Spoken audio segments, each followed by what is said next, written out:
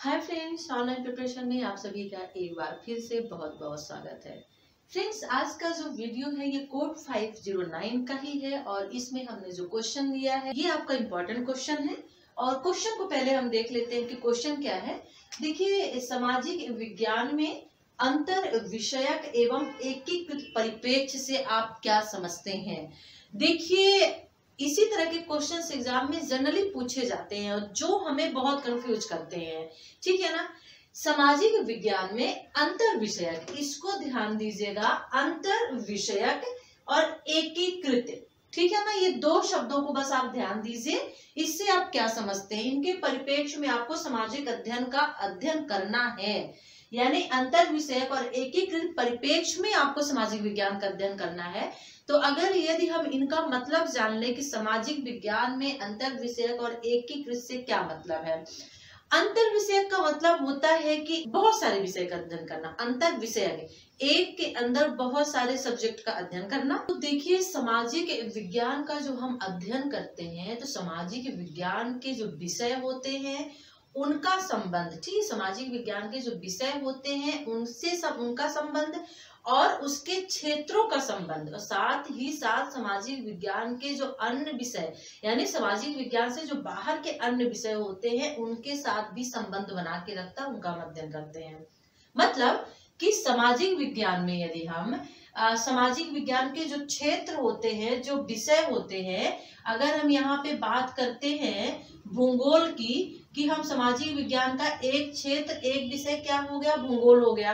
तो सामाजिक विज्ञान के अंतर्गत, सामाजिक अध्ययन के अंतर्गत ही हम भूगोल का तो अध्ययन करते ही करते हैं। लेकिन साथ में इसके क्षेत्र से बाहर के जो सब्जेक्ट होते हैं, जैसे यहाँ पे हम ले लेते हैं आपका भौतिक, भूगोल, ठीक है ना? भौतिक सॉरी भौतिक विज्ञान ले लेते हैं। भौतिक विज्ञान का भी जो अध्ययन है, कौन करता है? सामाजिक अध्ययन में हम करते हैं। भौतिक विज्ञान में क्या पढ़ते हैं हम? जो हम भौतिक विज्ञान में पढ़ते हैं, उसके कंटेंट हम भूगोल में भी पढ़ते हैं। इसीलिए कहा जाता है कि सामाजिक अध्ययन, सामाजिक विज्ञान में हम, सामाजिक विज्ञान के जो क्षेत्र हैं, जो विषय हैं, उनको तो हम पढ़ते ही पढ़ते हैं। लेकिन साथ में उससे बाहर के जो क्षेत्र है, जो विषय है, जैसे भौतिक विज्ञान आपका है, ये बाहर का क्षेत्र हो गया, एक अलग सब्जेक्ट हो गया। इसका भी अध्ययन हम सामाजिक विज्ञान में करते हैं। अब यहाँ पे अंतर विषयक में हम देख लेते हैं। अंतर विषयक का मतलब मैंने आपको बताया कि अपने सब्जेक्ट के क्षेत्र के अलावा, विषय के अलावा, दूसरे क्षेत्र का दूसरे क्षेत्र के विषयों का अध्ययन करना, ठीक है ना? यानी कि यहाँ पे एक मैं एग्ज़ाम्पल ले लेती हूँ, जैसे मैं यहाँ पे ले लेती हूँ इतिहास का, ठीक है ना? जो इतिहास सब्जेक्ट है, अब जैसे यहाँ पे इतिहास हो गया अब एक उदाहरण के तौर पे अंतर विषय में मैं इतिहास रख लेती हूँ।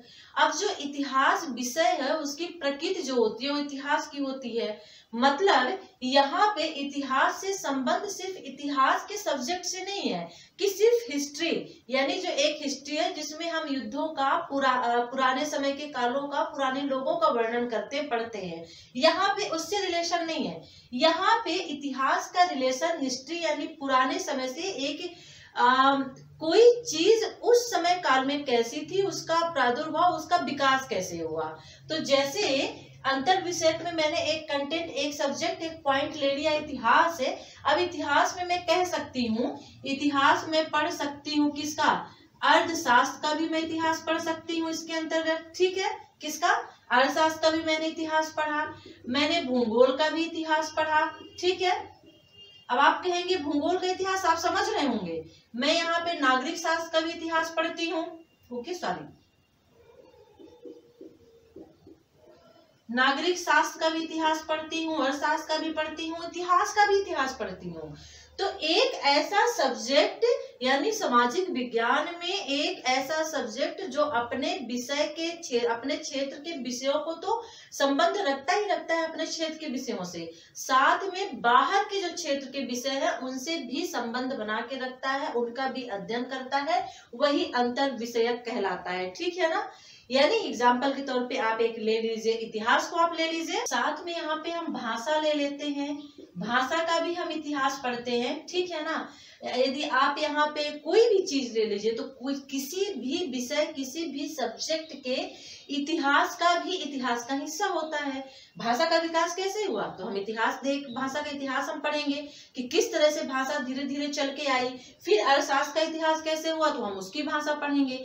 तो इस तरह से अंतर विषय के अंतर्गत, जैसे सामाजिक विज्ञान के अंतर्गत, सामाजिक विज्ञान के जो क्षेत्र होते हैं, उसके अंतर्गत जो विषय होते हैं उनके साथ साथ में जो बाहर के भी विषय होते हैं, क्षेत्र के जो विषय होते हैं, उनका भी अध्ययन हम करते हैं।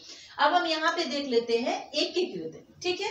एकीकृत विषय से क्या मतलब है? मैं यहाँ पे लिख देती हूँ, एकीकृत विषय से क्या मतलब है? अब एकीकृत जैसे नाम से ही पता चल रहा है। अब हम एकीकृत में देख लेते हैं। एकीकृत का मतलब होता है, आप कह सकते हैं, एकात्मक।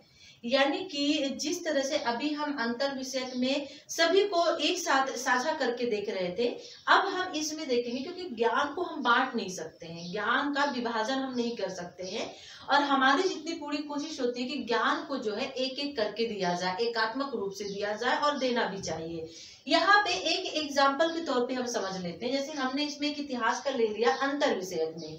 तो यहाँ पे एक ही कृत में हम ले लेते हैं किसको भोजन को ले लेते हैं, ठीक है ना? हम यहाँ पे भोजन को, आपको भी ऐसे एग्ज़ाम्पल देके वहाँ पे समझाना होगा।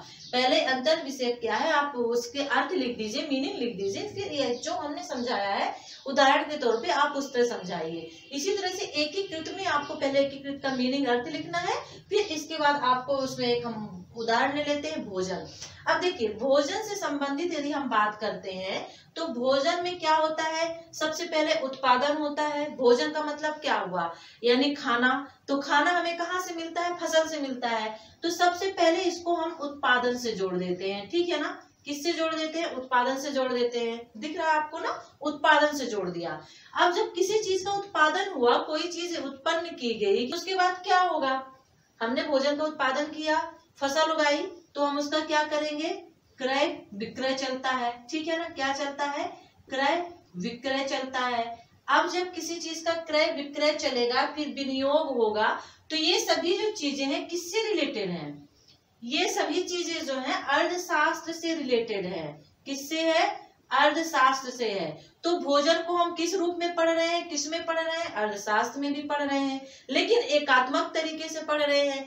किस तरह से उत्पादन हुआ, फिर किस तरह से क्रय हुआ, किस तरह से विक्रय हुआ, फिर विनिमय हुआ, कितना क्या पाया, ये सभी चीज़ें हम पढ़ रहे हैं तो हम अर्थशास्त्र में पढ़ रहे हैं। अब इसी तरह से अगर हम कह दें कि भोजन को हम इसको मैं रेस्ट कर देती हूँ, ओके, ताकि और चीज़ें, क्योंकि ये तो क्लियर हो गया ना, आपका इतिहास, अर्थशास्त्र वाला आपने देख लिया। अब इसी तरह से मैं यदि कह दूँ कि भोजन, पहला हमारा टॉपिक भोजन हो गया, जिसमें हमने अर्थशास्त्र रिलेटेड कर दिया। अब भोजन यहाँ पे फिर लिखेंगे, क्योंकि हमने एक ही कंटेंट उठाया है, भोजन उठाया है। अब हम यहाँ पे भोजन को यदि जोड़ देते हैं, किससे? परिवार से जोड़ देते हैं, ठीक है ना? किससे जोड़ दिया हमने?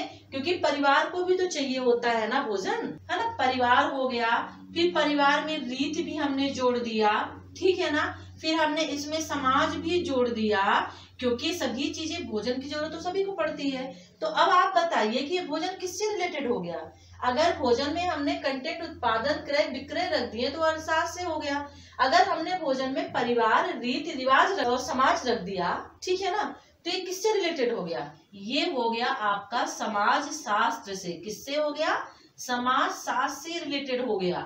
तो क्या हमने देखा? एकीकृत हमने पहले भोजन के बारे में पूरी इंफॉर्मेशन दी पूरी जानकारी हमें मिली, जहाँ हमने उत्पादन किया, क्रय किया, विक्रय किया, लेकिन अर्थशास्त्र में वो हमने पढ़ा।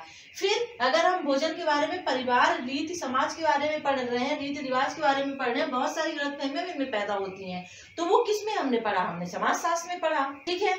अब हम और ले लेते हैं। मान लीजिए हम यहाँ पे फिर एक कंटेंट लिखते हैं, भोजन लिखते हैं अब भोजन को हम किससे करते हैं? ये सेकंड नंबर का हो गया। ये थर्ड नंबर भोजन को कितनी जगहों पे हम पढ़ सकते हैं? ये हम देख रहे ही होता है एकीकृत। अब हमने भोजन को क्या किया? माघ हो गया, ठीक है ना? यहाँ पे वृद्धि हो गई, माघ हो गया, वृद्धि हो गया, बजट हो गया, क्योंकि भोजन का भी तो बजट बनाया जाता है। तो ये सभी चीज़ें हमने किसमें पढ़ी, मुझे किसमें पढ़नी पड़ती है किसमें हम जानते हैं? राजनीति शास्त्र में जानते हैं, किसमें जानते हैं? राजनीति शास्त्र में हम पढ़ते हैं। यानी हमने एक कंटेंट को लिया एकीकृत रूप से। हमने एक कंटेंट भोजन को लिया। भोजन में हमने उत्पादन, क्रय, विक्रय लिया तो अर्थशास्त्र में हम उससे संबंधित है। भोजन जो परिवार, रीति, समाज के बारे में वो समाज शास्त्र से संबंधित है। भोजन मांग वृद्धि, बजट जो है वो राजनीति शास्त्र से संबंधित है। तो ये होता है एकीकृत। एकीकृत परिपेक्ष और अंतर विषय परिपेक्ष। ठीक है? किसके अंतर्गत? सामाजिक विज्ञान के अंतर्गत। अब यहीं पे हम इसको और बड़ा करेंगे। अब यहीं पे देखिए, यदि आप भोजन के बारे में पढ़ते हैं कि शुद्ध भोजन, ठीक है ना? भोजन के बारे में यदि आप यहाँ पे करें कि शुद्ध भोजन जो होता है, कैसे होता है साफ़ सफ़ाई किस तरह से रखी जाए, किस तरह से उसको पकाया जाए भोजन को, हम आगे बढ़ते हैं। तो हम किसमें इसको पढ़ेंगे? हम इसको गृह विज्ञान में पढ़ेंगे। किसमें पढ़ेंगे?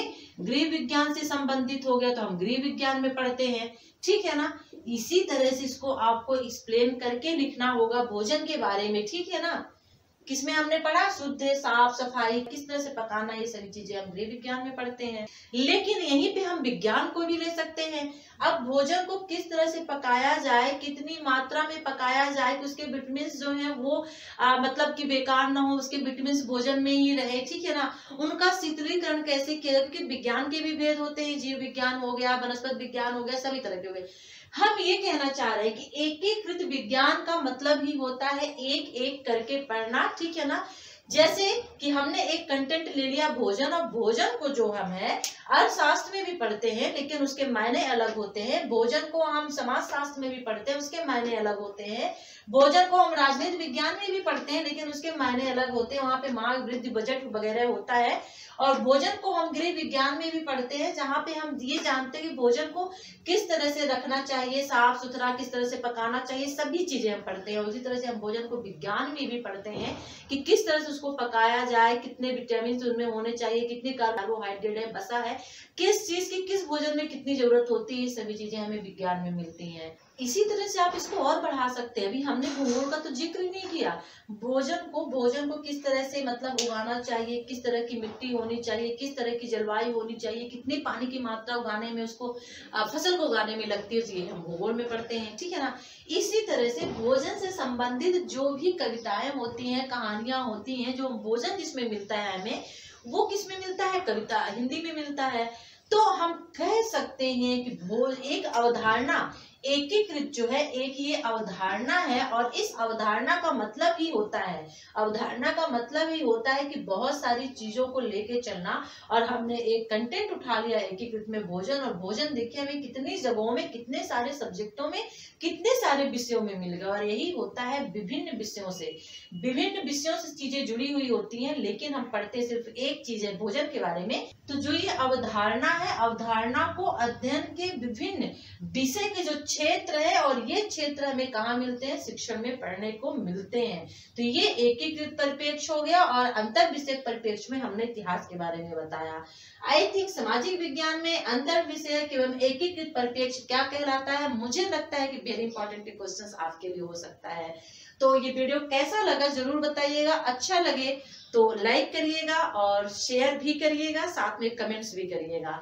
और चैनल को सब्सक्राइब नहीं किया है सब्सक्राइब कर लीजिए। चलिए फिर नेक्स्ट वीडियो के साथ हम आपसे फिर मिलते हैं। यदि आपको कोई क्वेश्चन है तो आप हमें कमेंट्स कर सकते हैं व्हाट्सएप पे मैसेज भी सकते हैं। मेरे पास एक क्वेश्चन क्वेश्चन तो बहुत है, लेकिन 508 का है कि पेस्टल कलर के बारे में हम आपको बताएँ। चलिए हमारी कोशिश होगी कि यदि टाइम मिलता है तो मैं उसके बारे में भी आपको ज़रूर बताऊँगी। तो नेक्स्ट वीडियो के साथ फिर हम आपसे मिलते हैं, तब तक के लिए टेक केयर बाय बाय